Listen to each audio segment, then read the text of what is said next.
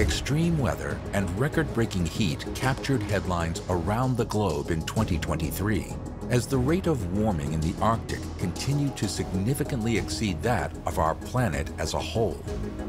The Arctic in 2023 saw unprecedented summer heat with the sixth highest annual surface air temperatures on record and the sixth lowest minimum sea ice extent as Arctic-wide the sea's surface continued to warm. Within and in areas adjacent to the Arctic, precipitation exceeded long-term averages across all seasons. The Greenland ice sheet lost significant mass in 2023, and with Arctic warming, satellite records show tundra ecosystems undergoing a dramatic transformation as greening increases. The trend toward a warmer, wetter, and greener Arctic is clear, but regional and seasonal variations remain high. A warm spring and very early snowmelt over northern Canada set the stage for its worst wildfire season on record, forcing evacuation of many communities. Local communities and indigenous peoples across the Arctic continue to experience outsized impacts of these climate changes.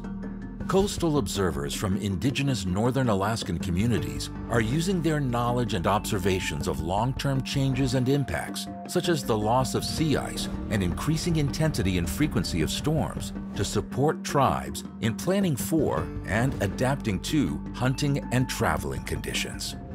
In western Alaska, unprecedented extremes have been observed in salmon populations, from record highs of sockeye in Bristol Bay to record lows of Chinook and chum in the Yukon River and other Bering Sea drainages.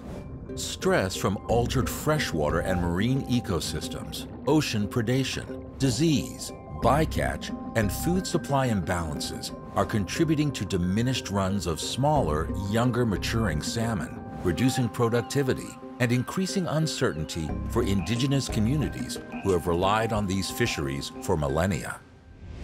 Much like the ocean, peatlands play a critical climate role by limiting the amount of carbon entering and warming the atmosphere. In Finland, an ambitious restoration and rewilding effort has revitalized drained and mined peatlands, along with the ecosystems and traditional cultures they support, offering a promising model for some of Earth's most valuable environments that store critical amounts of carbon.